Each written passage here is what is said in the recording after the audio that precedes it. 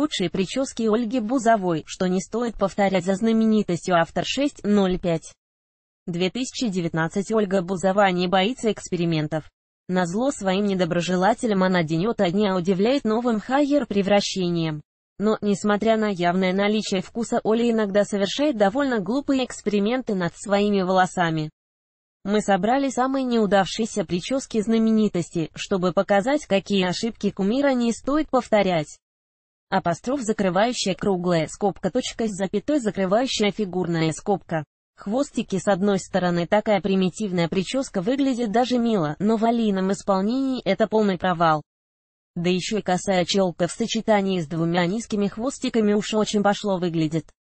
Роскошный локон отрастила Бузава волосы или нарастила, вопрос сложный, но что, что она питает страсть к кудряшкам, заметно сразу.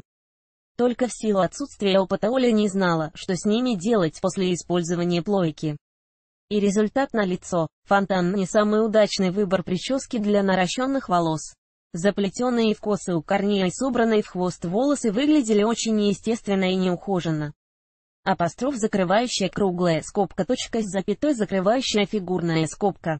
Красная прядь, ну не всем идет красный цвет, хотя Оля уверена, что ей все к лицу. Даже если это были всего накладные пряди, выглядит это все равно безвкусно. К тому же прическа выглядит слегка искусственно, как и с синими прядками. Рапунцель длинные волосы всегда в моде, но и здесь надо знать меру. А вот стилисту Бузовой, видимо, это слово незнакомо. Модные критики давно сошлись во мнении, что телеведущая идеально подходит длина волос до груди, а локоны в стиле Рапунцель не ее вариант. Афродита, судя по всему, Оля питает страсть не только к кудряшкам, но и длинным волосам.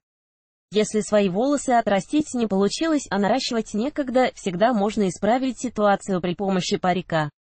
И Ольга об этом знает. Жаль, только не умеет им пользоваться.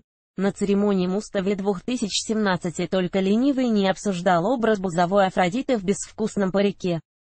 Макаронная фабрика «Время роскошных локонов» давно в прошлом и теперь певица переходит к другому виду кудрей. Беда в том, что завитые мелким стайлером пряди в сочетании с гелем, который беспощадно их склеивает, локоны Оли скорее напоминают лапшу быстрого приготовления, чем стильную прическу.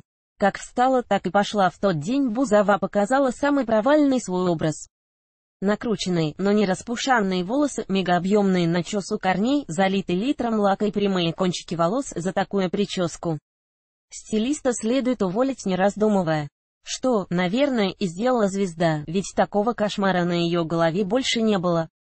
Хвостики с одной стороны такая примитивная прическа выглядит даже мило, но в алийном исполнении это полный провал. Да еще и косая челка в сочетании с двумя низкими хвостиками уж очень пошло выглядит. Роскошный локон отрастила бузова волосы или нарастила, вопрос сложный, но что, что она питает страсть к кудряшкам, заметно сразу. Только в силу отсутствия опыта Оля не знала, что с ними делать после использования плойки. И результат на лицо. Фонтан. Не самый удачный выбор прически для наращенных волос. Заплетенные в косы у корней и собранные в хвост волосы выглядели очень неестественно и неухоженно.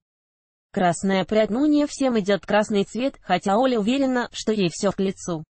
Даже если это были всего накладные пряди, выглядит это все равно безвкусно. К тому же прическа выглядит слегка искусственно, как и с синими прядками. Рапунцель. Длинные волосы всегда в моде, но и здесь надо знать меру. А вот стилисту Бузовой, видимо, это слово незнакомо.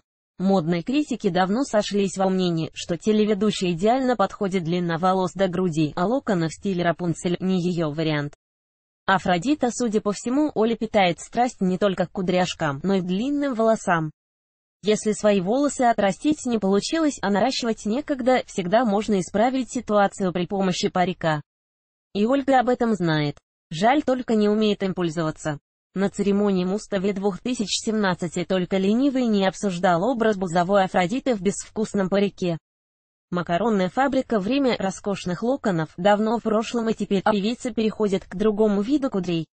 Беда в том, что завитые мелким стайлером пряди в сочетании с гелем, который беспощадно их склеивает, локоны Оли скорее напоминают лапшу быстрого приготовления, чем стильную прическу. Как встала, так и пошла в тот день Бузова показала самый провальный свой образ. Накрученные, но не распушенные волосы, мегаобъемные начес у корней, залитый литром лака и прямые кончики волос за такую прическу. Стилиста следует уволить не раздумывая. Что, наверное, и сделала звезда, ведь такого кошмара на ее голове больше не было.